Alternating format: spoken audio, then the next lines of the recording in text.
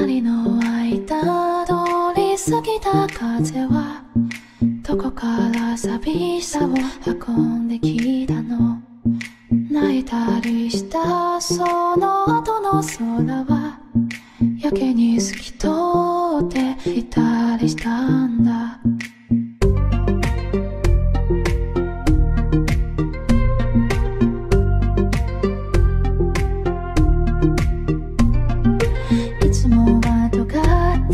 父の言葉が今日は温かく感じました。優しさも笑顔も夢の語り方も知らなくて全部君を真似たよ。もう少しだけでいい。あと少しだけでいい。もう少しだけでいい。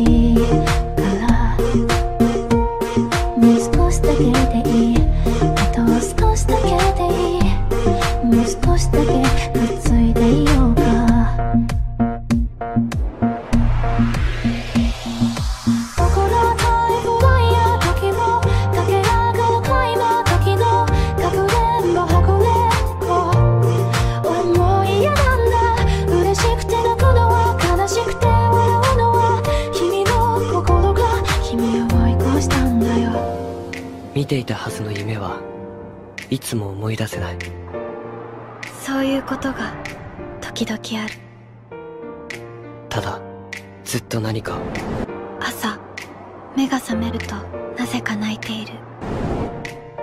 誰かを探している。星に待って願って手に入れたおもちゃも部屋の隅っこに今転がってる叶えたに夢も今日で100個できたよ。たった一つ大好きな抗がん護所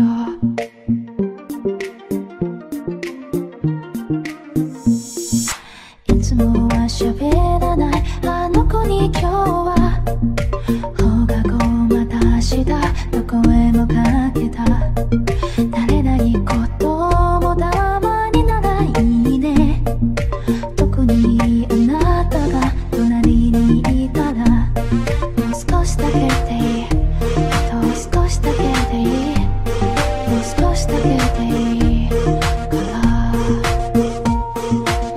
しだけでいい少しだけでいい。